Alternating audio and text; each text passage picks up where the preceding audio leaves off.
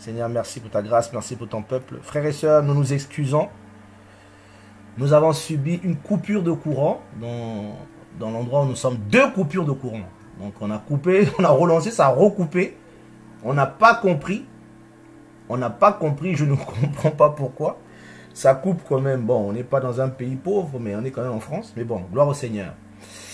Père, merci pour l'esprit, car nul ne peut empêcher la vérité d'être prêchée, d'être proclamée au nom de Yehoshua, notre maître. Voilà. Waouh, Seigneur, ça m'a ça m'a choqué. Ça m'a vraiment choqué, mes bien-aimés, ça m'a choqué. Donc je disais grâce au Seigneur que les démons travaillent, vous voyez vous-même. Donc les esprits impurs n'aiment pas qu'on parle de leurs œuvres, d'eux. Et vous le savez que un, une des choses que Satan aime faire, c'est de se cacher. Voilà, c'est la ténèbre. Voilà pourquoi l'ennemi aime se cacher.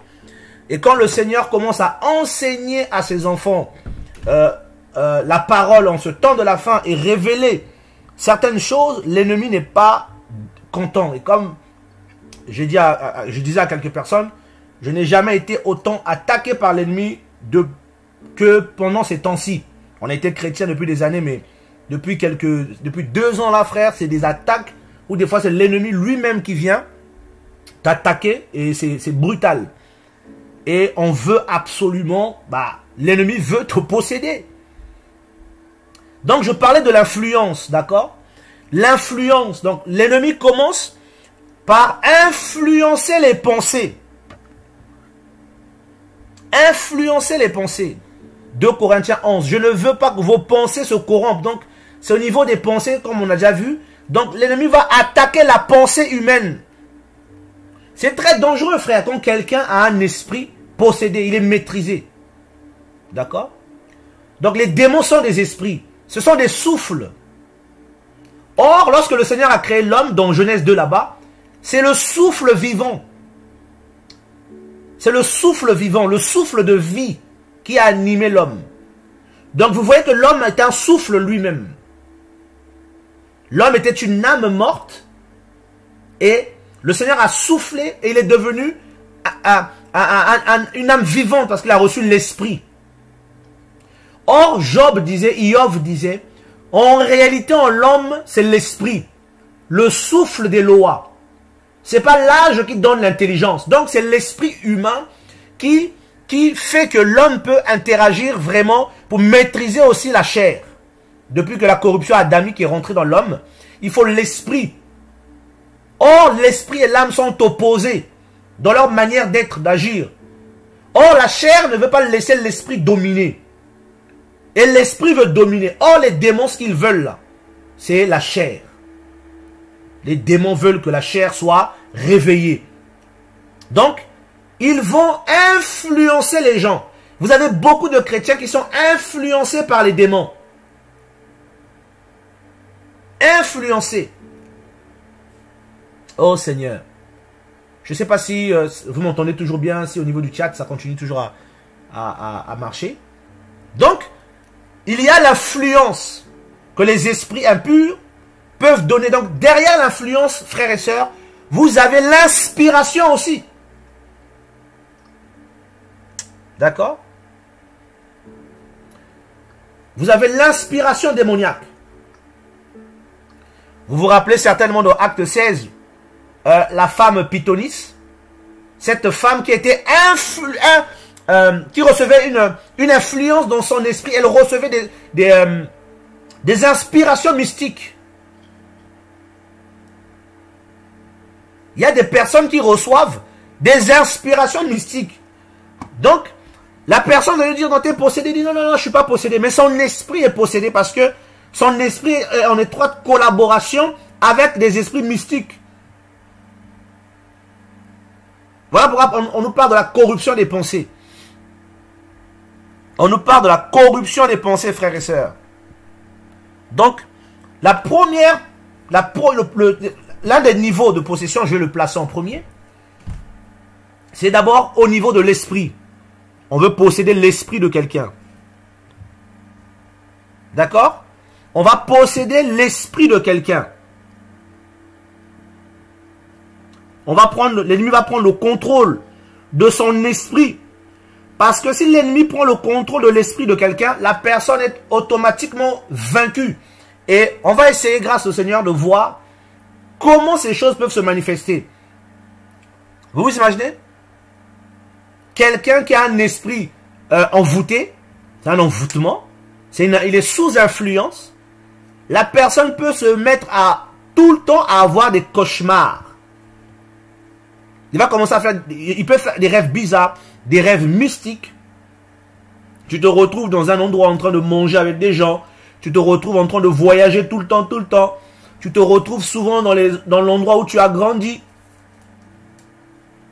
Il y a une influence au niveau de ton esprit. Tu te retrouves souvent au même endroit, au bord d'une, au bord d'une, de l'eau, au bord de quelque chose, de, de, de, quelque chose, tout le temps, tout le temps. Donc, et quand ça devient récurrent comme ça, c'est que quelque part, il y a une influence, sinon une maîtrise de ton esprit. D'accord? Donc, il y a des esprits. Vous savez, c'est le, l'ennemi ne fait pas mieux, hein. c'est le monde, c'est le monde spirituel. Donc, vous savez comment ça se passe? Le monde des esprits, c'est pas le monde physique. Le Seigneur étant en jeûne pendant 40 jours, L'ennemi il est venu, la Bible dit, il le transporta. Il ne l'a pas transporté physiquement, frères et sœurs. Il ne l'a pas pris et puis ouf, ils ont volé jusqu'à jusqu'au sommet du temple. Donc ça se passait au niveau de l'esprit. Est-ce qu'il avait vaincu le Seigneur pour posséder son esprit? Certainement pas. Certainement pas.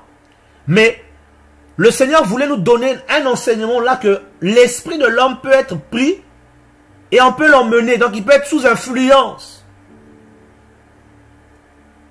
D'accord? Et vous allez voir comment des fois l'ennemi rentre. On va influencer quelqu'un dans ses pensées. Des pensées de jalousie, des pensées de colère, de haine. Souvent on dit, ouais, la personne c'est une sorcière, c'est un sorcier. Il mange les gens, il sort la nuit. Mais c'est une semence, un esprit qui a vaincu son esprit. Et automatiquement, Quelqu'un comme ça, son esprit est envoûté, ouais, son esprit est possédé. Donc, s'il faut faire la délivrance d'une telle personne, c'est au niveau de son esprit qu'il faut le libérer. Il faut que le Seigneur le libère au, niveau de son esprit. Parce que son esprit est envoûté et ça se balade. Il est sous contrôle.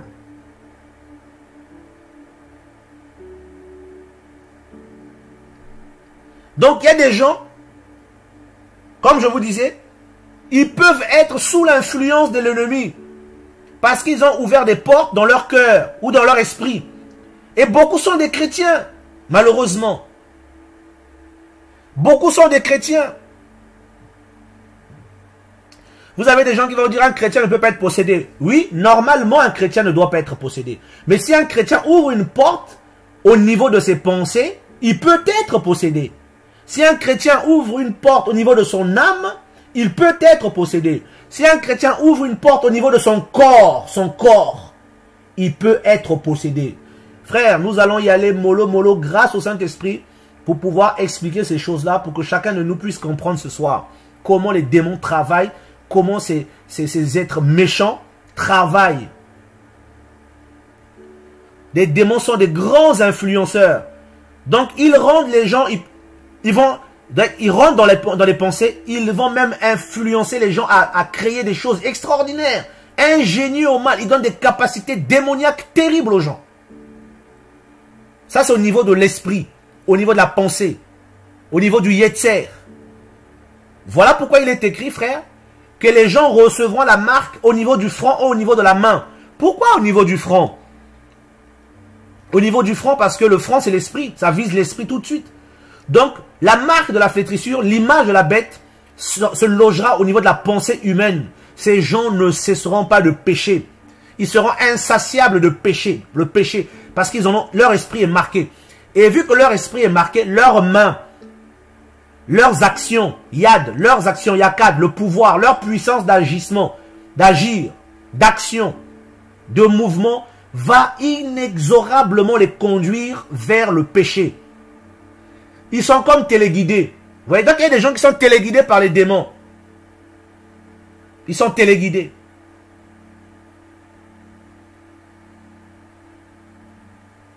Vous voyez un peu comment les démons travaillent? On peut rêver d'un endroit où on a grandi. C'est pas forcément qu'on soit aussi possédé. Attention, il faut que je mette la nuance là-dedans. Ça peut être aussi l'âme, les sentiments. Il y a des endroits qui nous ont marqués. Vous voyez un peu? Et on y va souvent.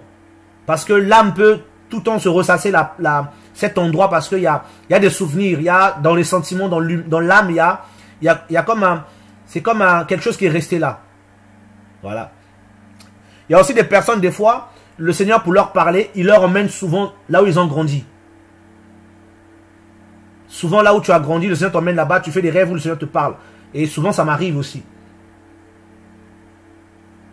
Et il t'emmène dans ton origine, d'où tu viens, pour t'enseigner. Ok? Donc, pour l'instant, je, grâce au Seigneur, je veux d'abord qu'on reste d'abord au niveau de l'esprit. Je prendrai les versets, ne vous inquiétez pas pour les versets. Mais je veux que chacun de nous puisse comprendre d'abord comment l'homme est maîtrisé. D'accord? L'homme est maîtrisé.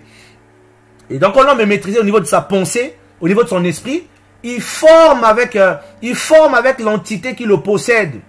C'est les gens sont possédés au niveau de leur esprit. Le démon et eux et lui, ils, deviennent comme des copains. Enfin des copains, qu'est-ce que je peux dire? Ils deviennent euh, compagnons. Il y a un mélange. Et Paul disait de ne pas être en communion avec les démons. Vous voyez un peu, c'est la communion, c'est là que la communion commence. Nous sommes en communion avec le Seigneur dans l'esprit. Et il y a des gens qui sont en communion avec des démons dans leur esprit également. Donc les, esprits travaillent comme ça.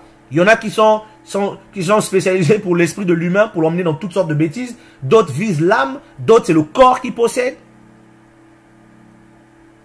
Et des gens se retrouvent euh, dans des souffrances, dans des difficultés. Il y a des personnes qui souffrent de, de, pensées impures, mais à un niveau où c'est pas normal. C'est pas normal. C'est-à-dire tu es bombardé, bombardé, bombardé. Le but, c'est de t'influencer et de dominer ton esprit. Donc, si quelqu'un maintenant veut se repentir, et que malgré cela, il tombe toujours dans le même péché, toujours dans le même péché, il y a deux choses. Un, soit c'est un problème de conversion jumelé un problème de discipline personnelle, soit inexorablement, c'est un problème de, possession euh, démoniaque. Il y a dans l'âme de cette personne-là un autre esprit L'âme est comme le sable. L'âme est comme la terre. On lui donne la forme qu'il veut. Donc quand un démon vient dans l'âme de quelqu'un, la frère et soeur, il peut mettre maintenant dans l'âme de cette personne ses désirs à lui. Voilà pourquoi on nous parle démon d'un tel, démon de ceci, démon... Parce qu'il s'est spécialisé dans cette chose-là. Oh Seigneur, aide-nous. Donc il y a des gens qui sont... Ils ont été éclairés, comme nous dit 2 Pierre 2, ils ont été éclairés et ils ont été vaincus de nouveau. Oh, c'est terrible. En fait, si le Seigneur nous ouvrait les yeux, ce monde est pourri. Pourri, pourri, pourri. Et la Bible le dit dans 1 Jean 5, que le monde entier est sous la puissance du malin. Sous sa puissance. Et les chrétiens, on l'a oublié, on l'a le Seigneur a vaincu le monde. Bien sûr qu'il a vaincu le monde. Nous sommes libres grâce au Seigneur. Bien sûr que nous sommes libres. Mais si nous ne veillons pas, frères et sœurs, parce que déjà on est charnel, on a la chair, si nous ne veillons pas, bah, les démons, ne vous inquiétez pas. C'est comme des mouches. Hein. S'il n'y a rien qui pue, ils ne viennent pas. Hein. S'il n'y a rien qui pue, ils ne viennent pas. Mais s'ils commencent à avoir des pourritures, des choses qui ne sentent pas bon, ils vont venir. C'est terrible. Et là, on voit l'importance de la sanctification, frère. C'est terrible. Se maintenir dans la sanctification, ça devient vital. C'est une vie de discipline. Parce que si tu ne te maintiens pas dans la sanctification, tu seras dans l'impureté. Et s'il y a l'impureté, les mouches viendront. Baal Zeboub viendra. Le dieu des mouches. Il viendra avec ses mouches. C'est terrible. C'est terrible. Avoir l'esprit possédé, c'est terrible. Ces gens-là, vous pouvez leur... En fait, vous pouvez, lui dire tout ce que vous voulez, 24 heures sur 24, tu sais, son esprit n'est pas là. Il est, il est vaincu. Il est atteint dans son âme, il est atteint dans son esprit. Et qu'est-ce qui peut se manifester? L'incrédulité, l'endurcissement et plein, plein, plein d'autres choses. Et petit à petit, la personne ne prie plus. Et pour les païens, la personne devient bizarre. Et il peut devenir fou ou folle. Il peut perdre la raison. Il peut perdre la raison. Quelqu'un de normal, vous voyez, du jour au lendemain, il commence à dire n'importe quoi, il débloque, on l'enferme, piqûre sur piqûre, mais il, est, il, se rend plus compte de ce qu'il dit, ce qu'il raconte. Il il n'est pas normal. Son esprit est frappé.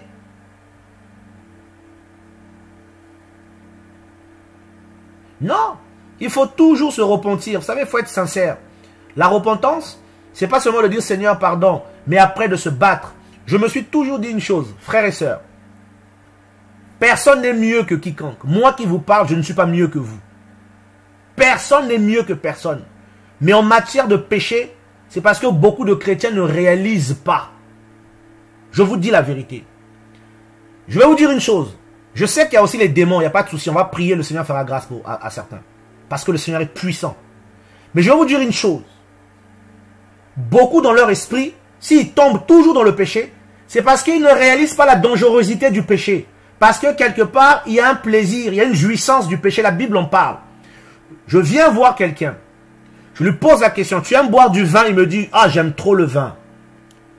Si je lui donne du vin, ça peut être un piège pour lui. Vu qu'il aime tellement le vin, il va boire un peu, il va être sous, il va dire, Seigneur, pardonne-moi. Pardonne-moi, Seigneur, j'ai encore bu du vin.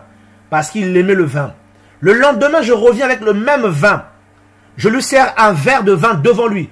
Et je prends une fiole de poison je verse dans le vin en question du poison, je dis à la personne, voilà le vin que tu aimes, j'ai mis du poison dedans, bois. Je vous promets, quelle que soit son addiction au vin, il ne boira pas ce vin-là. Quelle que soit son addiction au vin, même si le vin le possédait, si tu lui dis j'ai mis du cyanure dedans, après que tu as cuite, tu meurs, la personne prendra le verre, il va jeter, parce qu'on lui a mis du cyanure dedans. Donc, perdre sa vie pour lui est plus important. Il dit non, non, non, non, non, non, je vais, quoi, moi boire du vin, je suis pas fou. C'est parce que beaucoup, derrière le péché, ils ne réalisent pas qu'il y a la mort. Parce que si tu réalisais que tu peux, en péchant là, tu peux mourir, c'est l'enfer là qui t'attend là. Mon ami, qui veut aller en enfer? Si tu vois les flammes de l'enfer, on t'emmène en enfer une fois, on te jette dedans, on te ressort dedans, on te dit maintenant pêche encore. Tu vas dire jamais, la chaleur qui m'a brûlé là, jamais je vais refaire ça. Tu seras guéri. Oui, il y a des péchés qui viennent des blessures de l'âme, ça c'est clair. Mais il y a la conscience que le Seigneur nous a donnée, que le Seigneur a restaurée. Voyez un peu? Donc c'est cette conscience-là qu'on ne doit jamais donner à Satan. Il ne faut pas laisser la conscience nous attaquer. Pourquoi beaucoup tombent dans la masturbation? C'est parce que beaucoup aiment le plaisir que ça procure. N'allez pas loin. Je ne veux pas vous casser ce soir, mes frères et mes sœurs. C'est parce que quelque part, il y a ce plaisir que vous aimez. Vous aimez ce plaisir-là. Et vu que vous aimez ce plaisir, vous ne vous rendez pas compte que ce plaisir impie, impur, blesse atrocement le cœur du Seigneur. Et si vous réalisez la, souffrance du cœur du Seigneur lorsque ces actes sont posés, vous y arrêterez. Vous y arrêterez. Aussi, grâce au Saint-Esprit, mais aussi parce qu'on réalise parce qu'on est humain, on réalise, mais Seigneur, pourquoi je fais ça? Quelque part, il y a une jouissance du péché. Oui, c'est une faiblesse, c'est vrai, mais on y tire quand même un plaisir, sinon on ne le ferait pas. Parce que si on le faisait, on souffrait, ça nous brûlait la peau. Si ça nous choquait, on n'allait pas le faire, frère. Qui va aimer qu'on le poignarde la cuisse tous les vendredis? C'est pas normal. Ah, c'est mon plaisir qu'on me poignarde. Oui, mais au bout d'un moment, tu vas dire, ça fait trop mal, tu vas arrêter. C'est difficile d'arrêter le péché. Le Seigneur peut nous arrêter. Mais, savez, un jour, il y a des années, je me rappelle, nous étions sur un plateau télé chrétien, que vous connaissez. Et j'ai pris la parole il y a longtemps. Et je disais aux chrétiens, mais frères, beaucoup Beaucoup ne veulent pas arrêter le péché parce que quelque part, il y a une jouissance. Moi qui vous parle, frère, vous croyez que nous, on n'était pas dans la masturbation Mais bien sûr, à fond dedans. On n'était pas dans la pornographie, bien sûr, à fond dedans. Croyez qu'on n'était pas dans l'impudicité Mais à fond dedans. À fond dedans. Mais pourquoi le Seigneur nous a délivrés? Au début, j'ai eu du mal à abandonner ce péché. Mais quand le Seigneur m'a touché, l'amour, il m'a libéré. Et aussi, il y a des choses que tu arrêtes parce qu'il y a des démons, frère. Je ne vous cache pas. Tu dis, mais attends, tout ça s'emmène ici Oui, ça emmène là. J'arrête tout de suite, moi. J'ai pas envie de mourir. J'ai pas envie de mourir. Pourquoi je veux continuer quelque chose qui va me tuer? Je suis pas suicidaire.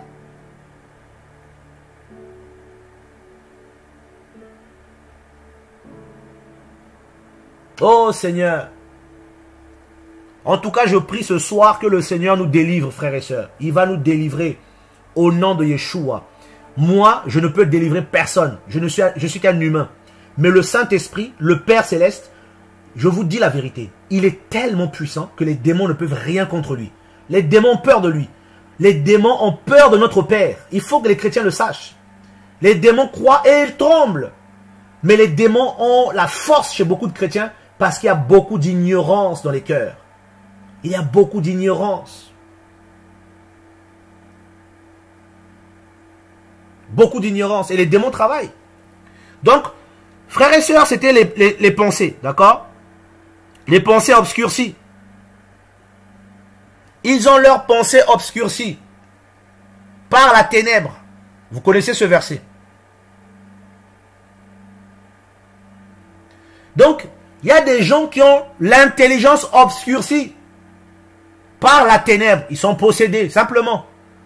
Leur esprit est possédé. Ils ont l'intelligence obscurcie. Oh Seigneur. C'est quand même terrible d'être chrétien et d'avoir l'intelligence obscurcie par les ténèbres.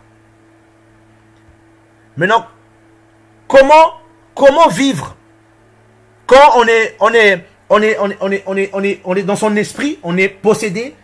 Si un chrétien a ouvert une porte et que l'ennemi a pris possession de lui, son esprit étant mélangé, il aura du mal à prier. Il aura du mal même à sentir la présence du Seigneur. Il aura du mal. Et il va lutter grave. Il va lutter grave. Et ça va être difficile pour lui. Ça va être difficile. Pourquoi? Parce que son esprit ne va pas, son esprit, euh, euh, euh, son esprit est lié. Regardez, on va prendre ce verset. Éphésiens 4, c'est ça, hein? Le verset 4. C'est ça? Éphésiens 4, 18. Ok. Euh... Voilà. Ephésiens 4, le verset... Oh, excusez-moi, on va vous le sortir en même temps. Voilà. Ephésiens 4, 18. Donc je parlais de l'esprit. Oh, Saint-Esprit. Voilà, je vais lire. Je vais même prendre la partie du verset 17. Voici donc ce que je dis et ce que j'atteste dans le Seigneur, c'est que vous ne marchiez plus comme le reste des nations qui marchent dans la perversité de leurs pensées. La perversité de leurs pensées. Ils marchent, ils fonctionnent, ils vivent, ils existent dans la perversité de leurs pensées ayant leurs pensées couvertes par les ténèbres, étant étrangers à la vie d'Elohim, à cause de l'ignorance qui est en eux, à cause de l'endurcissement de leur cœur. Vous voyez les démons ce qu'ils font, frères et sœurs? Ils vont couvrir ton intelligence, ton esprit, parce que là c'est de ça qu'il s'agit ici. Hein. et tu deviens insensible au verset 19, vous verrez, devenus insensibles, ils se sont livrés à la luxure sans bride pour commettre toutes sortes d'impuretés avec cupidité. Donc quand vous voyez les gens marcher dans l'impiété, c'est parce que leur esprit est possédé. Leur cœur devient dur. Donc les gens tombent dans le mal. Oh Seigneur. Oh Seigneur. Donc là, c'est au niveau de la pensée, au niveau de l'esprit, au niveau du yetzer. Et vous avez plein de, démons comme ça qui, vont attraper les gens et les gens vont se retrouver dedans. Et ça ne veut pas dire aussi, je m'arrête par là à certaines personnes qui prient à cause de l'oppression qu'ils vivent, l'oppression au niveau des pensées. Il y a des gens ici qui vivent ça. Et à cause de ces pensées, beaucoup pensent qu'ils sont possédés. Non, tu n'es pas possédé parce que tu es oppressé. Il y a deux choses pour l'oppression. Il y a l'état de notre cœur des fois qui remonte parce que le Seigneur nous est pur. Il fait remonter toutes ces, saletés, toute cette, impureté que nous avons. Comme il dit dans, je ne sais plus si c'est dans Jérémie 29 ou 49, je ne sais plus, où il parle de, il parle de Moab, n'était pas, pas, euh, n'était pas transvasé. Voilà pourquoi sa lit, son odeur lui est restée. Donc il y a des chrétiens que le Seigneur continue à sanctifier parce que dans nos cœurs, il y a beaucoup, beaucoup, beaucoup de saleté. Et ça doit remonter, ça doit remonter, ça doit remonter, ça doit remonter, ça doit remonter. Et ça crée aussi l'oppression. Et on s'humilie, Seigneur, aide-moi, purifie mon cœur. Et il y a aussi le cas où les esprits impurs te fatiguent parce qu'ils connaissent tes faiblesses, ils connaissent nos faiblesses. Donc en nous oppressant comme ça, c'est, ils veulent nous influencer simplement. Yetzer Ara. Exact. Donc, ils veulent nous influencer. Oh Seigneur. Pourquoi? Parce que le Seigneur parle au niveau de l'esprit de l'homme. Voilà pourquoi les chrétiens sont souvent attaqués au niveau de leur esprit. Parce que c'est là que le Seigneur leur parle. Quand vous avez des sœurs qui ont les dons de prophétie, les dons de parole de connaissance, le don de chanter, même toi qui chantes, c'est au niveau de ton esprit. C'est pas forcément au niveau de ta voix. Il y a des chantres du monde qui chantent au niveau de la voix, au niveau de l'âme, mais elles sont mortes. Mais les vrais chantres, les vrais, chantres du Seigneur, c'est au niveau de leur esprit. Ils reçoivent tout au niveau de l'esprit. Paul disait dans Romains 1, l'Élohim que je sers dans mon esprit. Oui, un démon de mort peut nous oppresser, bien sûr. Les démons peuvent nous oppresser. Paul disait, nous sommes combattus, mais pas abattus. On est combattus, mais pas vaincus. Il y a des gens qui sont vaincus. tu peux être oppressé par des pensées de masturbation. Tant que tu ne te masturbes pas, tu n'es pas vaincu. Tu es oppressé par des pensées de colère. Tant que tu ne pètes pas des câbles, tu n'es pas vaincu. Tu peux être oppressé par la jalousie, mais tant que tu ne cèdes pas à cette jalousie, tu n'es pas vaincu. Tu es en train de... On, on cherche à t'influencer. Shalom, shalom. Les démons cherchent à influencer les gens d'abord. Ah, frères et sœurs. Je vous dis, il y a des mystères, c'est des choses terribles. Et plus le Seigneur, tu avances avec le Seigneur, et plus tu te rends compte que le royaume des démons est tellement bien organisé. Ils sont organisés. Chaque étape, il y a des entités. Chaque élévation, le Seigneur te donne, il y a des entités qui opèrent au niveau de cette élévation-là. Chaque élévation, il y a des entités qui opèrent au niveau de cette élévation-là. Et ils sont, de, ils sont fins et malins, de plus en plus malins, de plus en plus malins, de plus en plus. Vous avez vu, on avait dit au début, quand on a commencé ce partage, il y avait des esprits de la religion. C'est terrible. Et ces choses-là agissent. Il y a des démons au niveau des couples. Des couples, en ce moment-là, je suis choqué de voir comment les couples, soi-disant chrétiens, éclatent, par en fumée. Ça éclate. Et quand tu parles avec eux, tu leur parles, oh non, mais moi, chacun compte sur sa position. Ils sont déjà, en fait, ils sont piqués. Ils sont influencés instrumentalisé par les démons. Quand toi, femme, tu mets ton mari dehors, quand toi, monsieur, tu mets ta femme dehors, quand toi, euh, femme, tu dis je ne veux plus parler à mon mari, quand toi, homme, tu dis, ah non, je veux... Il y a même des chrétiens qui vont voir des... Moi, ça me choque, qui vont voir des avocats, des, des juges pour demander le divorce. Et quand on va dire, non, c'est pas biblique. Non, non, non, non, non, non. Frère, c'est comme ça qu'il faut faire. Mais c'est pas biblique. Tu es sous influence. Tu peux me dire ce que tu veux, tu es sous influence, mon ami. Tu es sous influence.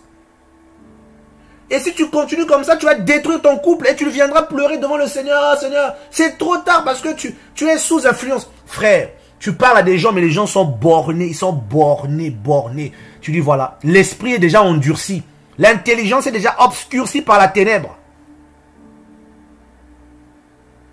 Par la ténèbre. Les démons sont terribles.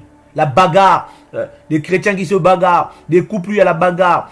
Mes frères, mais là, il faut la délivrance, frère.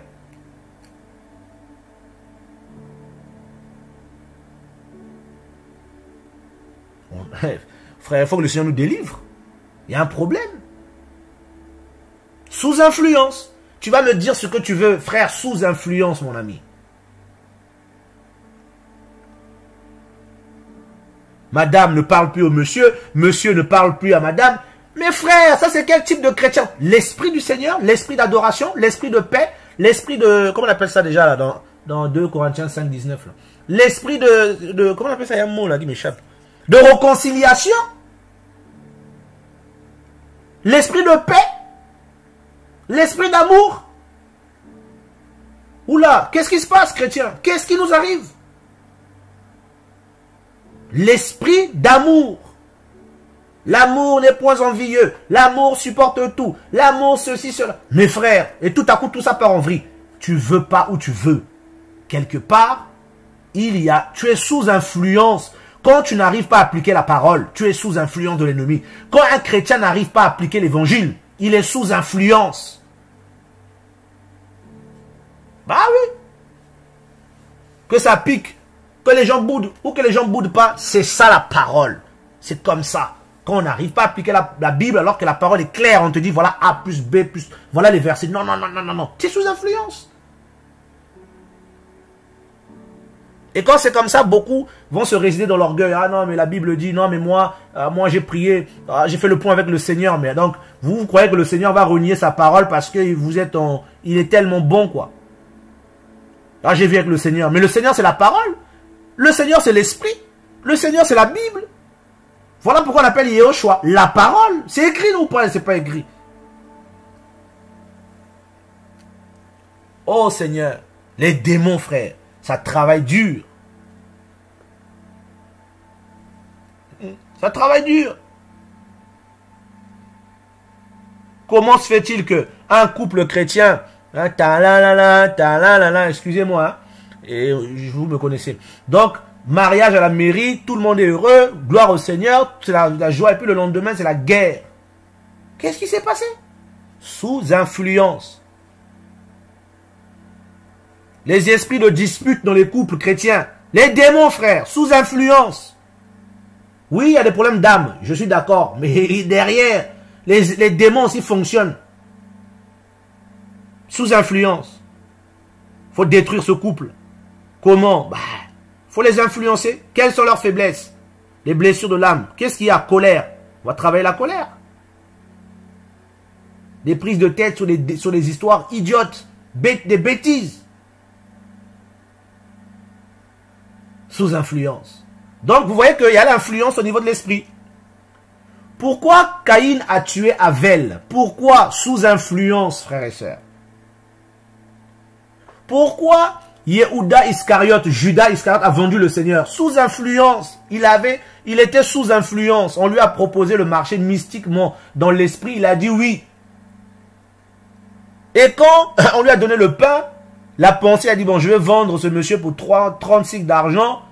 J'ai j'ai des besoins en ce moment. Le démon est rentré. Donc, vous voyez qu'après l'influence, quand l'influence a pris acte et que tu acceptes l'influence, tu es possédé. Tu es possédé? Quelqu'un qui sort la nuit. Tu te retrouves dans les fêtes où on fait du mal aux gens. Mais tu es possédé, mon ami. Tu as besoin de délivrance. Hmm? Tu fais des rêves, tu es tout le temps aux Antilles, au bord de la plage, tout le temps, tout le temps. Tu es possédé, mon ami. Il y a quelque chose qui ne va pas? Pourquoi tu es toujours au bord de la plage? Qu'est-ce qui se passe? Oh Seigneur. Ah. Oh Seigneur, c'est grave. Il y a beaucoup de chrétiens, frères et sœurs, sous influence. Nous sommes à la fin. Nous sommes à la fin. L'ennemi travaille. Il... Les assemblées chrétiennes n'en parlons même pas. Oh, frères et sœurs, je vous dis la vérité. J'ai passé plus de dix ans dans les assemblées comme, comme, comme dirigeant, mais c'est en sortant, c'est maintenant que je suis sorti de là, je me rends compte à quel point je suis sorti avec des plumes, euh, j'ai perdu des plumes. Tu dis, mais Seigneur, mais on était, dans tout ça. Je voyais même pas. Bah oui, sous influence. Tu es sous influence, comment tu vas voir? Tu es enfermé dans un bâtiment, l'odeur a changé depuis longtemps, mais hein, faut bouffer d'air pour que tu vois les choses. En fait, tu te rends compte là-dedans, il y avait de tout, mon ami. De tout et de tout. Oh, sous influence. Tu vois une sœur, tout ça là, tu commences à penser à elle tous les jours, tous les jours, tous les jours. Hein? On dirait que je parle à quelqu'un. C'est devenu une obsession. Même des chrétiens. Tu es, sous influence là.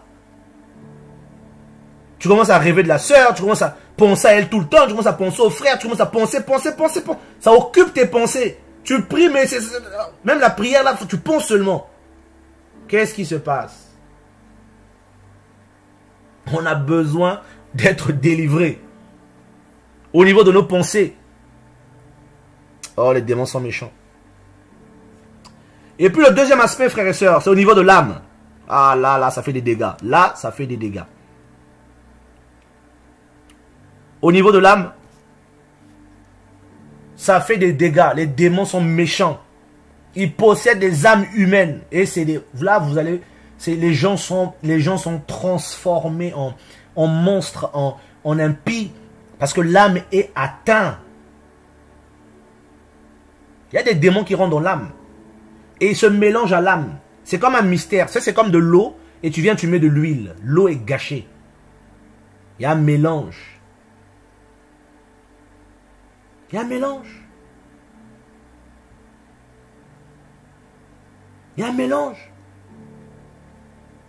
Quand l'âme est possédée, frère, les gens ont des envies terribles, des passions. Quelqu'un se lève comme ça, il a envie de quelque chose, c'est fort en lui. Parce qu'il est, poussé par un esprit. Et la lutte commence, la lutte commence, la lutte. Et beaucoup, quand ils sont vaincus comme ça, là, il n'y a plus de résistance. Et vous avez ça dans les, dans les cités, dans les villes, dans les quartiers. Les gens sont possédés. Et vous avez des jeunes filles qui sont possédées, des jeunes hommes qui sont possédés. Et ils ont du mal à arrêter des choses, du mal. Quelqu'un me pose la question, êtes-vous franc-maçon, monsieur? Pas du tout, frère. Nous ne sommes pas là, nous ne parlons pas d'ici de ça. Nous sommes chrétiens, enfants du Seigneur. Bref. Seigneur, merci pour ta grâce. Donc, les gens sont possédés.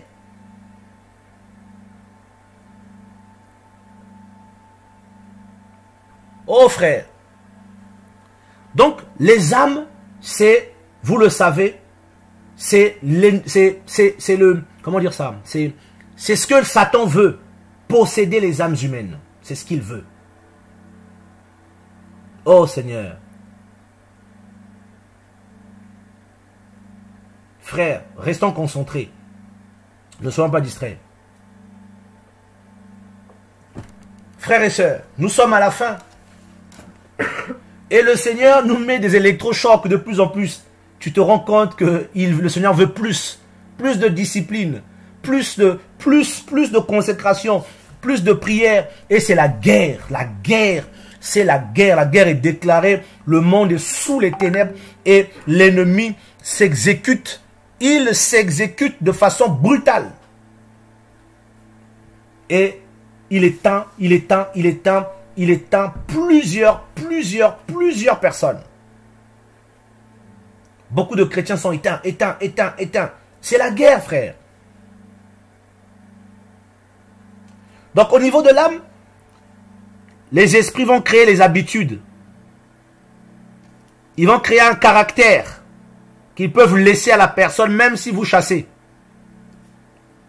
Ils vont laisser des comportements. Oh Seigneur, des comportements. Et ça, frère, c'est terrible. C'est terrible. Et l'âme là, c'est quand on ouvre une porte, ta maison est pillée. C'est l'homme fort. Voyez un peu? Là, on est maîtrisé. Le pillage commence. Oh Seigneur Père. Regardez, je vais prendre un passage dans le livre de... On va prendre Matthieu, le chapitre 12.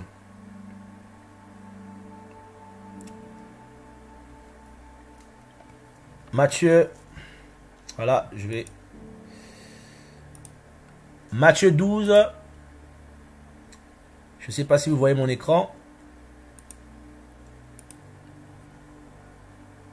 Le verset 43, vers là-bas. Voilà, on va parler d'une histoire, vous verrez. Mais lorsque l'esprit impur Matthieu 12, 43. Mais lorsque l'esprit impur est sorti de l'être humain, il passe par des lieux sans eau. Voilà, là, je crois que vous allez voir, là. Il passe par des lieux sans eau, cherchant du repos, mais il n'en trouve pas. Alors il dit, je retournerai dans ma maison d'où je suis sorti, et quand il arrive, il la trouve vide, balayée et ornée. Alors il s'en va et prend avec lui sept autres esprits plus méchants que lui-même. Et ils y rentrent et s'y établissent. La dernière condition de cet homme est pire que la première. Il en sera de même pour cette génération méchante. Et si vous lisez bien tout le chapitre, vous allez comprendre pourquoi le Seigneur avait parlé de la sorte ici.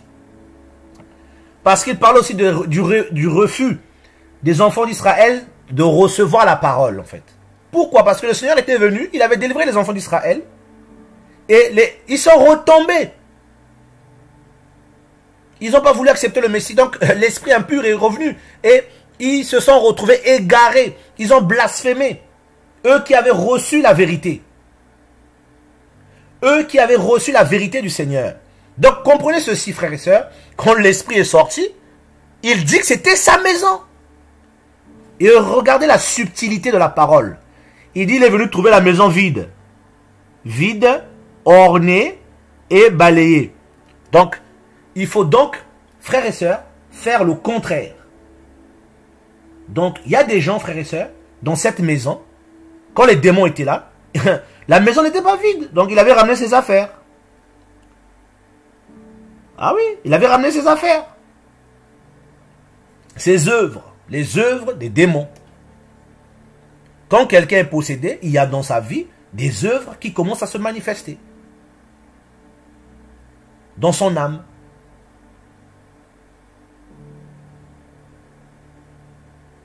Vous n'avez pas vu le verset là? On était dans, euh, dans Matthieu 12, à partir du verset 43. Donc quand quelqu'un... Ouais, voilà, ceux qui sont là pour se distraire, là, faut, faut, faut, les, faut, les, voilà, au niveau du chat, là, on n'est pas là pour la distraction, on est là, en train on, est là pour partager l'évangile, pour qu'il nous libère, qu'il nous délivre. On n'est pas là pour, euh, pour, euh, pour se distraire. Si vous avez que ça à faire, je vous, je vous conseillerais de quitter le chat et d'aller faire euh, mumuse ailleurs. Nous, on est là pour prêcher l'évangile du Père en ce temps dernier, en ce temps difficile. Frères et sœurs, donc, les démons veulent toujours habiter l'homme, les maisons. Pour eux, ce sont des maisons. Donc l'âme est comme une maison pour eux. C'est terrible. C'est terrible. Le Seigneur vient nous délivre, mais on doit veiller. C'est pas fini. Nous devons continuer à veiller pour que la maison continue à être ornée, continue à être ornée. Vous avez vu toutes les délivrances que le Seigneur a fait Vous vous rappelez de, l'enfant lunatique dans la Bible que ses parents ont mené Les démons part des gens, frère. C'est terrible. C'est terrible. Regardez dans les assemblées, dans les nations, les démons se sont emparés des églises entières. Et les âmes des gens sont, liées liés, les gens sont... En fait, l'âme là, c'est comme... L'âme, j'ai toujours dit, c'est comme l'utérus. Les démons déposent là toutes leurs envies. Vu que les démons sont des esprits, et toutes leurs œuvres à eux. C'est comme moi, je suis dirigé par l'Esprit du Seigneur, mais il y a aussi mon esprit qui est là. Mon esprit est là. Sous couvert du Seigneur, mais je suis un être libre. Donc imaginez un autre esprit qui vient dans mon corps et il commence à contrôler mon âme. Ça devient une souffrance pour l'âme. Ça devient une souffrance pour l'âme. C'est terrible. Vous avez des gens qui sont possédés par des esprits qui les rendent lunatiques ou bipolaires. Je vous dis, j'ai déjà vu des gens comme ça, hein. bipolaires. Vous êtes là, vous pouvez être... Ils changent. Et si vous priez là, les démons vont se manifester, la personne... C'est comme s'il a plusieurs personnalités. Des troubles bizarres. Troubles, on va dire, ah non, les médecins vont dire troubles de la personnalité. Non, il est possédé. Ce sont des, pas des personnalités qui sont lui qui s'expriment, ce sont des esprits. Comme cet homme qui avait possédé de, de légions. Quelqu'un qui a des démons, vous allez voir, il va, il tient des, propos bizarres. Il y a quelques années, je me rappelle, c'était en Belgique, à Bruxelles, un matin, pendant que j'y étais, on m'a appelé pour aller prier pour une sœur. Et euh, on m'a dit, frère, il faut venir, il y a une sœur, elle a des problèmes, il faut venir prier pour elle. Et en me levant, le Seigneur me dit, là où tu vas, ne prie pas pour la personne. Tu ne prieras pas parce que c'est moi qui ai frappé la personne, parce que la personne a ouvert une porte. Je suis allé, frère, et j'étais assis, et la personne a commencé à parler. C'était une femme. Elle avait couché avec le mari d'autrui, et la femme à qui elle appartenait, ce mari, était une sataniste. Et donc, la femme lui a, frappé, a envoyé un esprit et elle a été frappée de folie. Elle parlait. Au premier abord, vous n'allez pas voir qu'elle était folle. Elle parlait normalement, normalement. Mais c'était, elle passait du coq à l'âne. Et je lui dis, mais tu es folle, toi. Et l'esprit s'est, l'esprit s'est manifesté violemment, brutalement, tout à coup. Et vu que j'avais euh, des injonctions aussi du Seigneur, je suis resté tranquille. Et on a juste prié, oh Seigneur, fais grâce. Et le Seigneur a fait grâce à cette, femme, elle a été restaurée.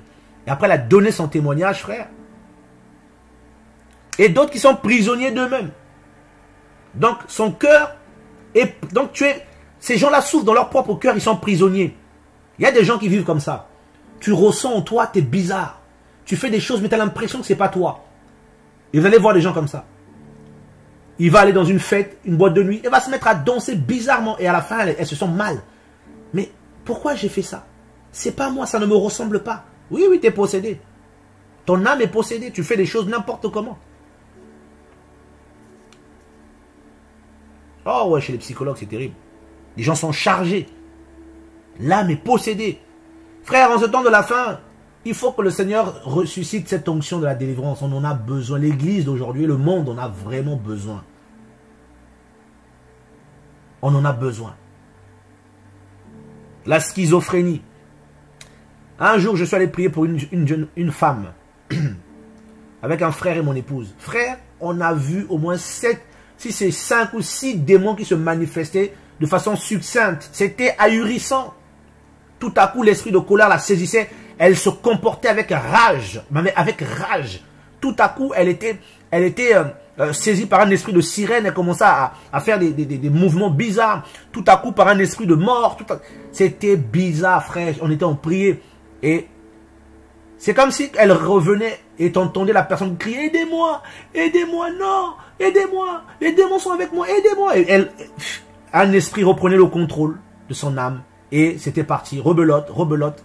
Et fallait chasser esprit par esprit au nom du Seigneur Yehoshua qui règne sur toute la création visible et invisible. Possédée.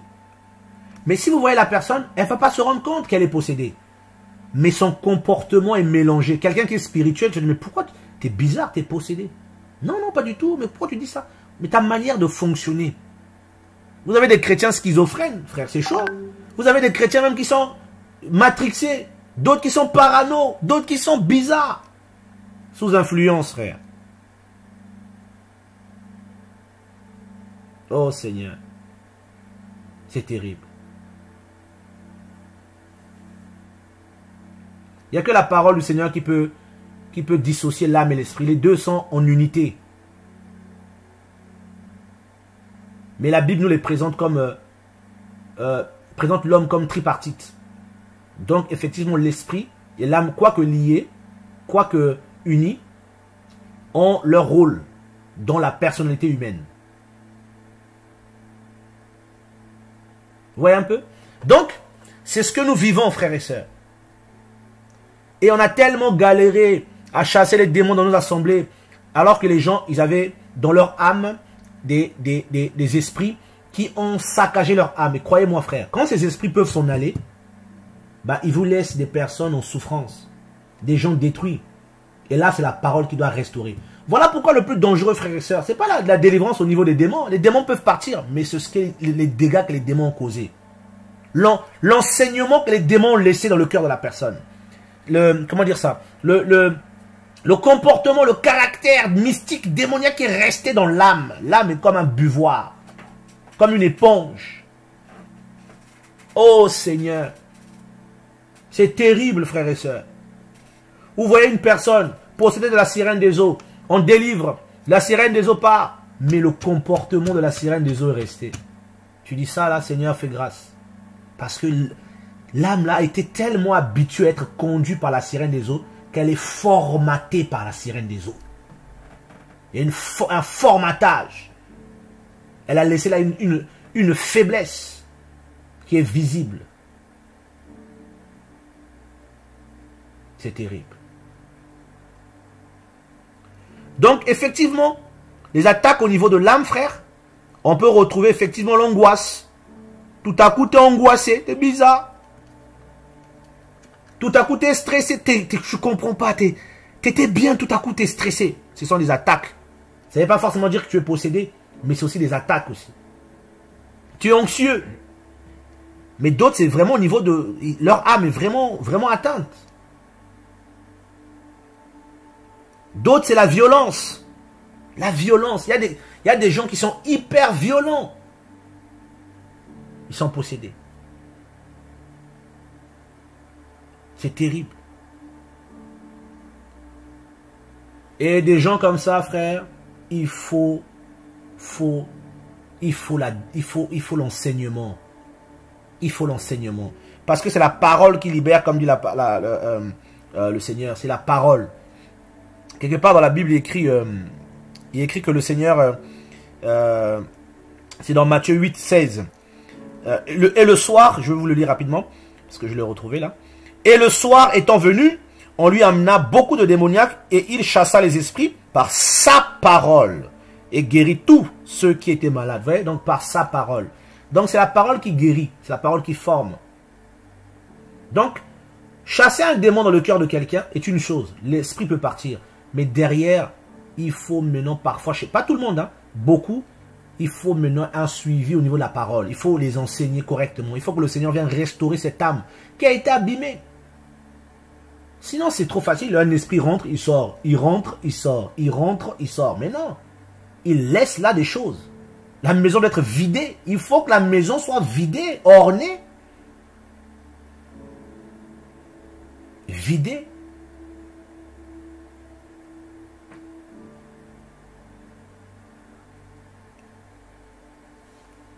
Regardez depuis que le Seigneur nous a délivrés des démons.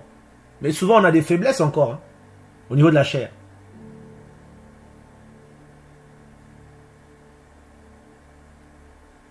Oh Seigneur. Et quand vous avez, quand on a affaire aux gens qui sont liés des fois au niveau de leur âme, souvent ces gens-là, même pendant leur délivrance, ils peuvent faire beaucoup de cinéma. J'ai déjà vu ça, beaucoup de cinéma. Le démon est parti, mais la personne continue des fois même à pleurer, à rouler par terre parce que l'âme est tellement affectée.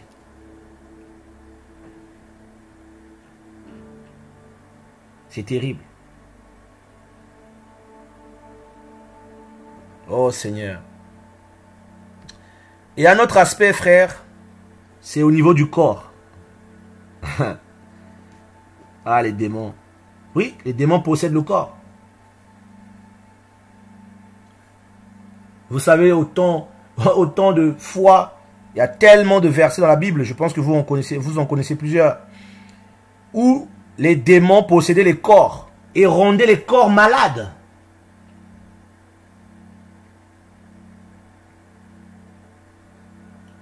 Quelqu'un peut avoir des, peut être attaqué par un démon et cet esprit peut provoquer une maladie de peau. Au nom de Yehoshua, nous brisons cela.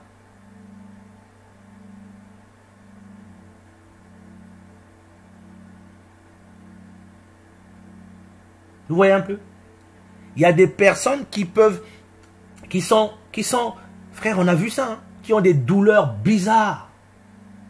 Ils sont mal, ils sont possédés. Ils sont possédés.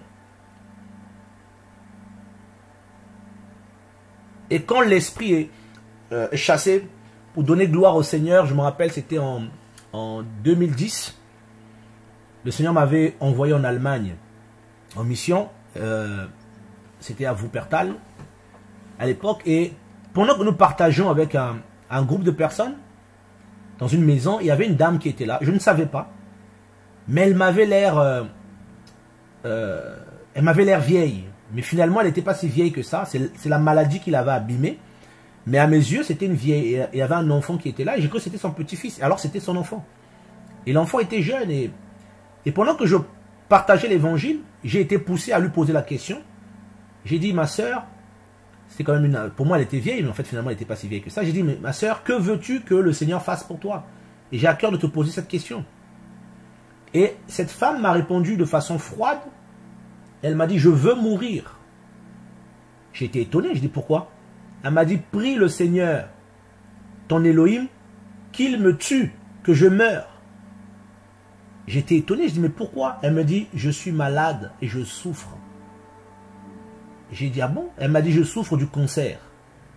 Oh chrétien, cette femme avait le cancer, son ventre était dans un état de, je sais pas, de, pourriture apparemment. Et elle ne pouvait pas dormir sur le ventre. Donc elle dormait souvent dans un côté et elle souffrait, cette maladie la rongeait et son ventre était dans un état terrible.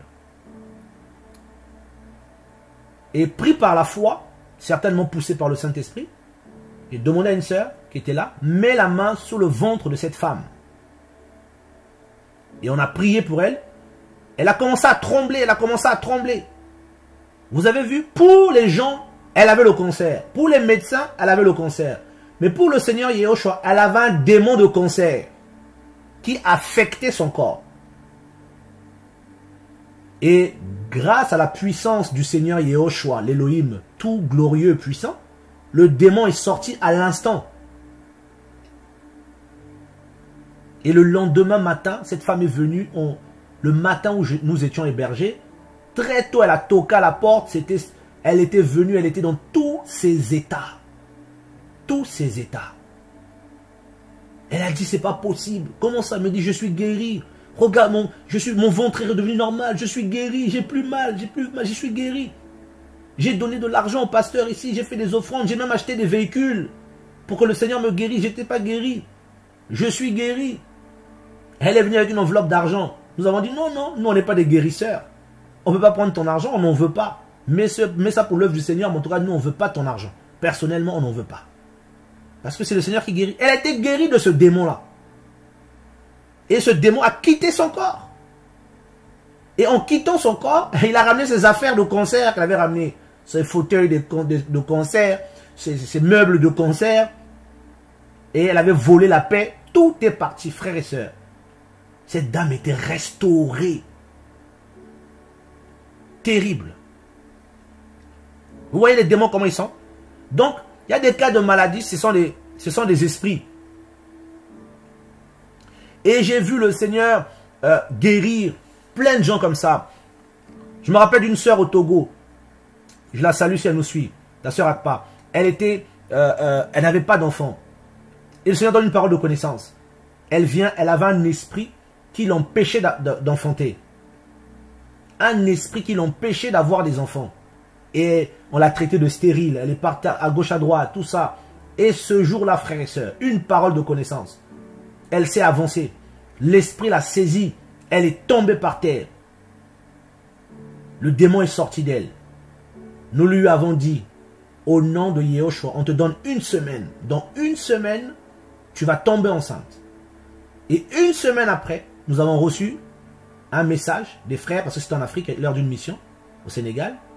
Et cette femme était enceinte.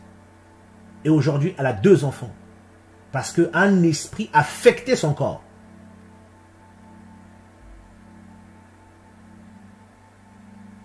Et je vois le Seigneur guérir des gens comme ça, qui sont affectés au niveau de leur corps par les démons. Les démons sont méchants, ils poussent les gens, ils poussent les gens à mettre leur corps en exergue. Il y a des gens, on dirait, ils ont des chauffages corporels. J'ai jamais compris ça. En plein hiver, nous on caille, on a des manteaux. Eux, ils ont, ils ont tout en l'air. Tout en l'air. En plein hiver. Je dis, mais vous, vous, vous avez quel type de chauffage? Ils ont des chauffages corporels. Les démons. Donc, ils arrivent même à, enlever le froid dans leur corps. Juste pour séduire le monde. J'ai vu des personnes, frères et sœurs, ça peut vous choquer ce que je veux dire. J'ai vu la sirène des eaux euh, euh, gonfler des attributs féminins des femmes. J'ai vu ça. Vous voyez la personne arrive, elle est, comme, elle est comme euh, mystiquement pompée. Physiquement, tu ne le vois pas, mais en fait, la, sirène la, gonfle de sorte qu'elle puisse séduire. Vous, comprenez mon langage. Mais une fois après la délivrance, on se dit, eh, t'as perdu du poids, toi. Mais, t'as maigri. Le démon est parti avec tout le bagage qu'il avait ramené. Parce que c'était fake, mon ami. C'était faux. C'était que du fake. C'était de la fausseté. Je regarde la personne, je dis, mais tu as perdu du poids tout à coup, tout est parti. Le démon est parti avec ça. Et quelques temps plus tard, tu revois la personne, elle a repris du poids. Tu dis, toi, le truc est revenu la personne commence à fuir. Oui, oui, oui. Tu as repêché, tu as ouvert la porte, là. La maison n'est pas restée dans ton vide. Hein. Sept fois plus. Je vous dis la vérité. Il y a des gens, vous les voyez, leur beauté n'est pas... C'est pas une beauté naturelle. Leurs attributs bizarres sont, sont, mystiques. C'est démoniaque. Et ça vient dans les églises, tout ça, mystiquement euh, euh, équipé pour séduire, pour détruire. Leur corps est possédé. Et une fois délivré, là, vous allez voir, là, ça devient, ils deviennent naturels, normal. Les démons ramènent des maladies bizarres. Oh Seigneur, merci. C'est terrible ça. Il y a des esprits qui rendent les gens muets. Vous vous rappelez de l'histoire de dans Marc, euh, Marc 9. Marc 9, 25. Bon, on va le prendre. Histoire juste que on puisse avoir quelques versets. Marc 9, 25. Regardez vous-même. Non, même, remonte un peu, remonte un peu. On va remonter un peu. Voilà. Voilà, c'est bon, c'est bon.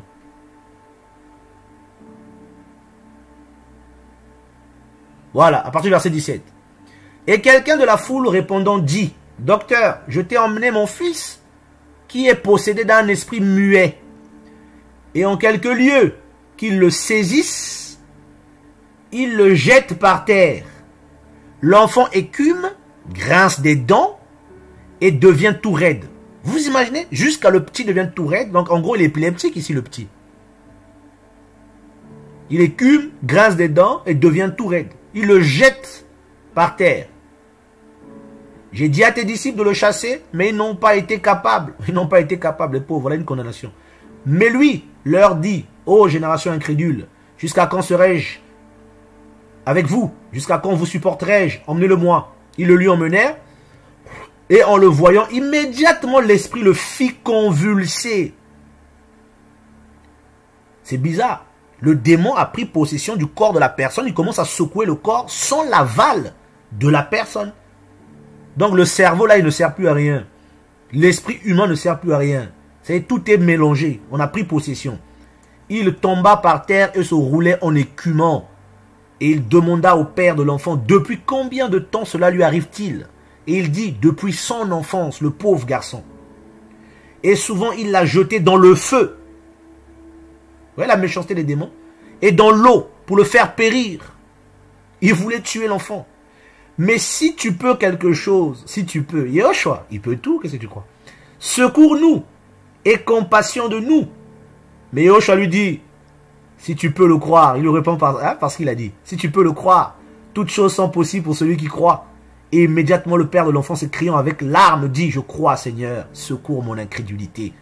Mais quand Yoshua vit la foule accourir ensemble, il reprimanda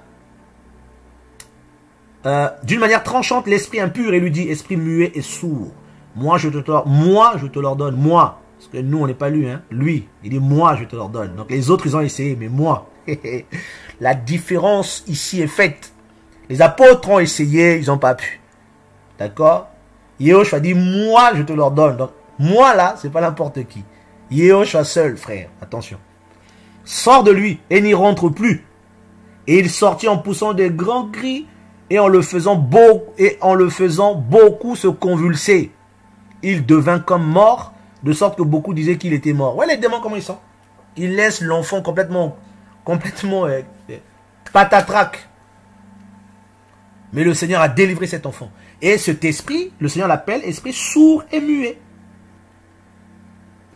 Mais comment ça, il peut rendre quelqu'un sourd et muet Quelqu'un qui normalement doit parler, tu empêches sa langue de, de s'exprimer? C'est pas normal ça. J'aimerais bien qu'on lise aussi l'histoire de quelqu'un. Laisse Alain, je vais le prendre. Matthieu, euh, non, Marc. Cette histoire, souvent quand je la médite, oh Seigneur. Le Seigneur est bon. Hein. Marc 5, à partir du verset. Euh, le fou de Gadara, que beaucoup de gens connaissent. Le fou de Gadara. Et ils arrivèrent sur l'autre bord de la mer, dans le pays des gays de Gadaréniens. Et comme il sortait du bateau, immédiatement, un homme possédé d'un esprit impur, possédé en grec N, qui veut aussi dire avec, en lui, donc en lui, quoi, il avait en lui, un esprit impur, alla à sa rencontre, depuis les sépulcres. Bizarre. Ce, ce démon l'emmenait dans les sépulcres. Cet homme avait sa demeure dans les sépulcres et personne ne pouvait plus le lier pas même avec des chaînes, car souvent il avait eu les fers aux pieds et avait été lié de chaînes, mais il avait rompu les chaînes et brisé les fers. Et personne n'avait la force de le dompter. Il était continuellement nuit et jour sur les montagnes et dans les sépulcres, criant et se mutilant avec des pierres. Quelle méchanceté. Mais ayant vu Yehoshua de loin, il a couru et l'adora. Ah. Le gars est possédé, mais il voit Yehoshua il court et il vient l'adorer. Aïe, aïe, aïe. Et criant à grande voix, il dit, qu'y a-t-il entre toi et moi? Yehoshua, fils de l'Élohim très haut, je te conjure au nom d'Élohim de ne pas me tourmenter. Car il lui disait, sors de cet homme, esprit impur. Et il lui demanda, quel est ton nom? Il répondit, les gens et mon nom, parce que nous sommes beaucoup. Et il le supplia avec instance de ne pas les envoyer hors de cette contrée parce qu'ils voulaient toujours occuper l'entrée, hein, la, contrée, parce que certainement c'était leur zone géographique d'influence. Parce qu'il faut savoir que les démons aussi ont leur zone géographique d'influence. Or, il y avait là vers les montagnes un grand troupeau de porceaux qui paissaient.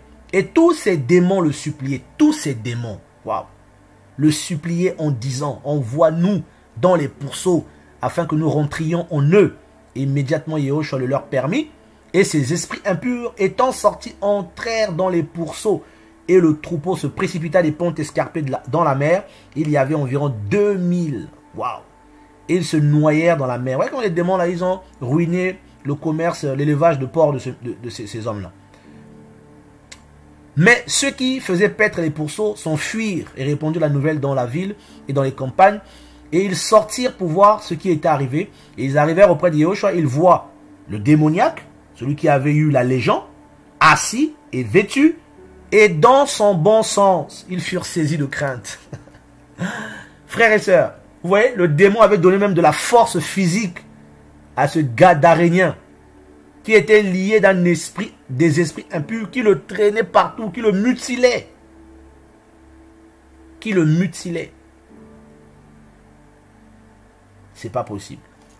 J'ai vu rencontrer une jeune fille un jour, une jeune femme, qui venait prier à l'assemblée, et qu'un jour me confesse, elle me montre comment elle se mutilait le corps. J'étais choqué. Elle s'ouvrait les cuisses avec des, lames. Euh, elle s'ouvrait les mains. Elle avait plein de cicatrices. On aurait dit des scarifications. Plein. Elle, elle, se, elle se déchirait le, le corps comme ça avec des lames. Avec... Oh Seigneur. Sous influence. Possédée. Mutilée. Cet homme était fou. Et le Seigneur l'a restauré. Il y a des gens qui ont des forces bizarres. Souvent, on retrouve ça en Afrique. On fait des cérémonies bizarres. Les gens deviennent, ont une force surhumaine. En fait, ils sont, ils sont leur corps est possédé. Et c'est plus eux qui agissent. En fait, ce sont des esprits. C'est terrible. Petit, nous, on a vu ça. Hein. Les gens pratiquent des arts bizarres. Ils font des choses bizarres. Ils ont une force bizarre. Parce qu'ils sont, ils sont, animés par des démons qui, les, qui leur confèrent cette, ces puissances-là. Voilà pourquoi on parle des puissances occultes. Voilà. Donc voilà comment les gens sont possédés. Et les gens, il y a des gens qui sont possédés, son âme est possédée, son esprit est possédé, son corps est possédé. Et là, là, c'est catastrophique. tu deviens fou, comme le, le monsieur là de Gadara. Toute une légende, tout est lié là-dedans. Il n'est plus dans son bon sens, il a perdu le sens. Son corps même est possédé. Vous imaginez un corps humain que le Seigneur avait créé? Euh, Ouais, certains sportifs, effectivement. J'ai une fois reçu le témoignage d'un sportif qui me disait comment il était allé dans un pays africain pour, euh, pour qu'on lui fasse une cérémonie. Et comment le démon était rentré en lui. Il a dit une puissance est sortie, une ombre est sortie et rentre en lui. Et cette ombre est rentrée en lui. Et, quand il est reparti pratiquer son sport, les gens étaient étonnés. Il dit, mais qui t'a changé? Et un des mystiques qui était là, il dit, hum, toi, tu étais quelque part. Hein, tu as fait des choses. Parce que la manière dont on te voit là, tu, n'es pas simple. Effectivement, beaucoup de sportifs font ça, les sportifs africains. Oui, bien sûr, les questions, vous pouvez les poser. Voilà, au Congo, pareil. Les Camons, bien sûr, quand on était petit, il y avait, il y avait pas mal de personnes qui, qui, euh, qui faisaient ça. Et puis, ils devenaient bizarres casser des bouteilles, manger des, trucs bizarres, manger des verres, manger des... Oh là, laisse tomber, les gens sont possédés. Donc les esprits impurs travaillent beaucoup en ce temps de la fin. Voilà. Pour influencer les esprits des gens, pour euh, posséder les esprits des gens, posséder les âmes et posséder les corps. Vous avez ils ont même possédé les, porcs. Donc euh, c'est pour, pour, voir le niveau à quel ils sont, méchants. Ils peuvent même posséder des objets, des objets de culte.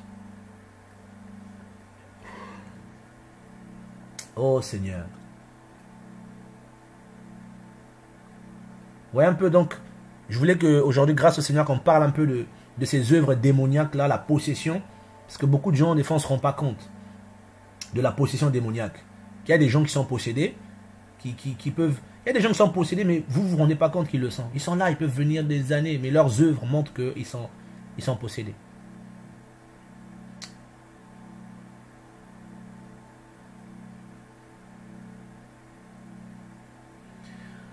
Ma soeur Jocelyne, les, blessures de l'âme, c'est le Seigneur qui les guérit. Et nous prions pour toi. Et qui n'a pas des blessures de l'âme? Ah oui, on a tous des blessures de l'âme. Mais la présence du Seigneur, l'intimité avec le Seigneur canalise ces blessures et restaure ces blessures. C'est dans la présence du Seigneur que tu seras guéri. Et si tu n'es pas, et si tu ne, si tu euh, voilà la, euh, cette parole qui, qui, libère nos âmes, comme disait euh, Pierre. Voilà, c'est on doit croire à cette parole de salut qui, guérit nos âmes. C'est important. Sinon, bah, on, va vivre comme ça et on va être... vous savez, les blessures de l'âme peuvent pourrir la vie, hein. surtout les hommes et les femmes qui sont appelés à se marier, appelés à vivre la vie chrétienne. Euh, quelqu'un que le Seigneur appelle à son service, qui a, qui a l'âme blessée, va faire des dégâts terribles. Va faire des dégâts terribles. Voilà. C'est le Seigneur Yeshua qui guérit les cœurs, qui restaure les cœurs. Je veux prier aussi pour les couples, les couples chrétiens. Seigneur, restaure les couples au nom de Yeshua. Je veux prier pour nos frères et sœurs, papa, qui souffrent. Restaure-nous, guéris nos cœurs, Père, au nom de Yeshua. Nous voulons être conduits par ton esprit. Garde-nous des œuvres mystiques en ce temps de la fin. Nous réclamons ce vent de l'esprit, ce réveil qui va apporter la délivrance des élus, la délivrance au niveau des pensées, au niveau des cœurs, au niveau physique aussi, pour le salut qui arrive. Nous renversons dans l'esprit les esprits de masturbation, les esprits de chiens, les esprits de serpents, les esprits impurs, au nom de Yehoshua. Seigneur, renverse tous ces esprits qui nous pourchassent dans nos rêves, dans nos songes. Au nom de Yehoshua Mashiach, libère-nous, Seigneur. Libère tes enfants. Guéris nos cœurs. Fais-nous grandir euh, spirituellement. La maturité. Donne-nous la force de nous battre, Seigneur. Tout le temps, de ne pas baisser les bras. De continuer la lutte, Seigneur. De continuer à, à avoir la crainte de ton nom, Seigneur. Au nom de Yeshua. Oh Adonai. Merci pour la crainte d'Elohim. Merci pour la puissance de Elle. Merci pour tout. Sauve-nous. Change-nous, Seigneur. Au nom de Yeshua. Oh Père. La présence du Seigneur seul peut nous restaurer. L'onction seule peut nous changer. Peut briser la puissance des démons. Les démons n'aiment pas l'onction. Les démons n'aiment pas la présence du Seigneur. Seigneur, nous brisons les flèches que les satanistes envoient, que les démons envoient en ce temps de la fin. Restaure nos pensées, que nos pensées soient claires, clairvoyantes, que nous puissions voir clairement les choses, Seigneur. Maïkaïta, s'il te plaît, papa, qu'on puisse voir clairement, papa, clairement, que rien ne nous empêche d'être dans la clairvoyance spirituelle en ce temps de ténèbres. Que les phares de l'esprit soient sur nous, au nom de Yeshua, papa. Oh Seigneur, libère nos cœurs, libère-nous. S'il y avait des démons qui agissaient dans nos cœurs, dans nos vies, que leurs œuvres soient brisées dans l'esprit par la puissance du Saint-Esprit, au nom de Yehoshua.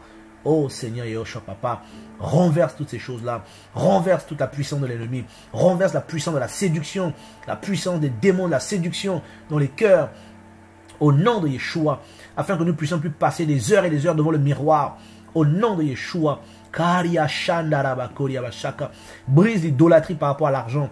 Brise l'idolâtrie par rapport à l'argent, Seigneur. Au nom de Yeshua. Oh Saint-Esprit, merci Papa. Oh merci Seigneur, merci. Merci. Seigneur, merci. Oh Seigneur, guéris tes enfants. Guéris tes enfants. Guéris tes enfants. Guéris tes enfants, Seigneur. Seigneur, guéris-nous. Guéris-nous, Seigneur. Ouvre les portes, Seigneur, de la maternité Ouvre les portes de la maternité, Père céleste. Ouvre les portes de la maternité. Saint-Esprit, mon papounet, ouvre les portes de la maternité, Seigneur. Ouvre les portes de la maternité de façon glorieuse et miraculeuse. Au nom de Yeshua, Ilao Debré, Père céleste, au nom de Yeshua, Seigneur, ouvre les portes. Au nom de Yeshua. Merci pour ta victoire à la croix. Pour nous, Seigneur. Oh Seigneur, au nom de Yeshua, garde-nous, Seigneur. Garde mon cœur. Garde ma vie. J'ai besoin de toi, Seigneur. Il a massé, Père, au nom de Yeshua. Fortifie-nous en ce temps de la fin pour continuer la lutte. Car le, combat n'est pas facile, Seigneur. N'est pas aisé, Seigneur. Surtout la chair. Surtout euh, le manque de concentration tout le temps, tout le temps. Le manque de discipline. Seigneur, restaure dans ma vie de la discipline, restaure dans nos cœurs la discipline, Seigneur, la discipline tous les jours, Père Céleste, tous les jours, à pouvoir prier, à pouvoir chercher ta parole, à pouvoir t'adorer, Seigneur, au nom de Yeshua. Que la ténèbre soit brisée, au nom de Yeshua, Papa. Oh Adonai, Seigneur, je sais que tu es en train de travailler. Je sais que beaucoup sont touchés par ta grâce. Beaucoup pleurent, beaucoup crient vers toi. Ils demandent à ce que tu les délivres. Beaucoup. Mais beaucoup sont encore incrédules. Malgré que tu leur as fait grâce, ils croient toujours, ils pensent toujours. Ils donnent la force aux démons parce que ils pensent toujours qu'ils sont toujours dans l'état alors que tu les libères, ils ne veulent pas croire. Et l'ennemi oppresse leurs pensées. ils pensent toujours qu'ils sont possédés. Et Satan les oppresse dans leurs pensées. Oh Santa de Bre, Malakai. Merci pour les anges que tu envoies. Merci pour tes anges guerriers, Seigneur. Au nom de Yeshua. Merci pour ton peuple que tu, es en train de guérir au nom de Yeshua. Merci pour tes, tes filles. Merci pour tes fils. Tous ceux qui pleurent dans ta présence, libère-les. Père, tu le sais mieux que moi. Nous ne pouvons rien faire sans toi. Le combat est déclaré, il est rude dans l'esprit. Les chrétiens ont besoin de se réveiller et que par ton esprit, nous marquerons notre génération par la prière, la crainte du Seigneur, la sainteté, l'amour du Père, l'adoration véritable. Restaure cette assemblée-là au nom de Yeshua. Ce soir, écoute nos prières, renverse les menaces, les maris de nuit, les femmes de nuit. Seigneur, l'oppression au niveau de l'esprit, les attaques, l'envoûtement, au nom de Yeshua, l'envoûtement par les images, les images impures, car il est les images impures, Seigneur, l'envoûtement mystique, au nom de Yeshua. Seigneur, merci Papa. Ô Père, ô Père, ô Père, ô Père. Keriama Shenalo, Breyama Sotobre. Prions, frères et sœurs, qu'on ait plus de discipline, qu'il y ait plus de discipline.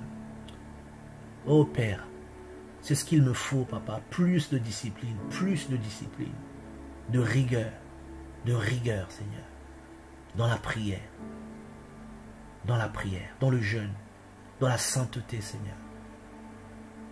Oh Seigneur, dans la clairvoyance. Ouvre une porte pour que tes enfants soient dans ta présence. Oh Yehoshua.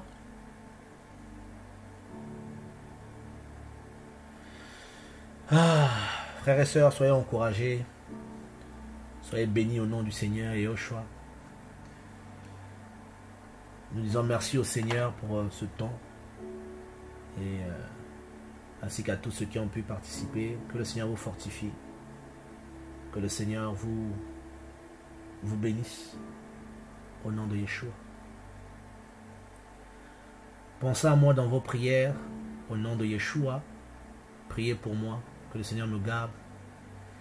Les jours qui arrivent, euh, je pense que si le Seigneur permet, je ferai un direct pour vous annoncer des grands changements par rapport à moi-même et, aussi par rapport à certainement ce que le Seigneur me demande de faire. Et euh, aussi la vision et la mission qu'il euh, me confie de plus en plus. Oh là là. Les esprits de chiens sont des esprits d'impudicité souvent, ou de sorcellerie. ce sont des esprits impurs qui travaillent beaucoup dans le domaine du sexe et de la sorcellerie. Oh Seigneur. Ah, faut toujours pardonner ma sœur. Le Seigneur revient. Il ne doit pas te trouver dans cet état-là. Parce que lui nous pardonne. Voilà. Donc je disais, le temps qui arrive, voilà, je vais vous annoncer peut-être des, grands bouleversements, des grands changements. Le Seigneur est en train de nous bouleverser. En tout cas, il est en train de me bouleverser. Et euh, je partagerai ça avec vous et, et sollicitera aussi votre, votre prière. Amen. Pensez à nous dans la prière. Pensez à moi dans la prière. Priez pour moi, je vous en supplie. Et, euh, je ne suis pas... voilà, j'ai besoin de vos prières aussi. Hein. Je veux aller au ciel, je vais être sauvé. Je veux faire la volonté du Seigneur et, j'ai besoin de faire ce qu'il veut, ce qu'il attend de moi. Pas ce que moi je veux, mais ce que lui veut. Voilà. Soyez grandement bénis. Merci beaucoup. Soyez encouragés du côté de la Belgique, du côté de Liège. Mes frères, je ne vous ai pas oublié. Soyez encouragés. Ma soeur Chantal. Soyez encouragés au nom de Yeshua. Soyez vraiment encouragés là-bas. Voilà. Merci beaucoup pour vos prières. le Seigneur est en train de nous, en train de nous secouer en ce moment. il est en train de nous secouer, en train de nous secouer, en train de nous secouer. Donc voilà, et comme je vous ai dit, hein, dès que le Seigneur me met à cœur de, partager sur un sujet, je le ferai. Je partagerai là-dessus et pour nous tous, afin que nous soyons enseignés. Que l'Élohim vivant bénisse l'assemblée des saints et qu'il garde les élus du Père dans la paix. C'est ce que je vous souhaite à tous. Paix et grâce sur vos âmes. Au nom du merveilleux Yehoshua. Amen. Voilà.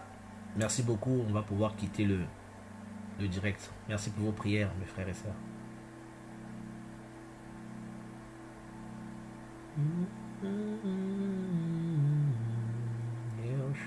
Mashiach.